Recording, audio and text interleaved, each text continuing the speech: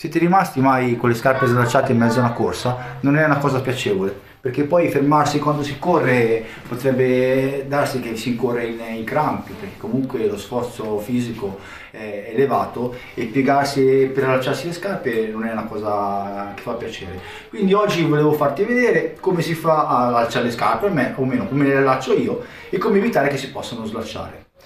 Io, come vedete, la scarpa, mi raccomando, è la scarpa un centimetro più, più lunga di quello che è, la, è, il vostro piede. Io ho un 41 ed deve essere, questo è un 42, c'è un dito fra il mio dito e la scarpa per evitare che quando scivola il piede o si gonfia per la corsa mi si va a, a picchiare contro la scarpa l'unghia e posso incorrere in vesciche e altre problematiche ai piedi. Quindi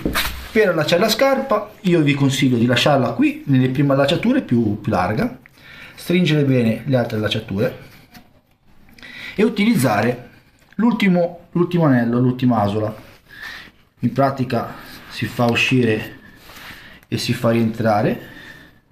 e si creano due asole, una da una parte e una dall'altra. Una volta creata le due asole andiamo a invertire la lacciatura, quindi un capo da una parte dentro l'asola dall'altra,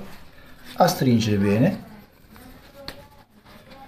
e poi fare il nodino questa è la lacciatura che vi consiglio per un buon,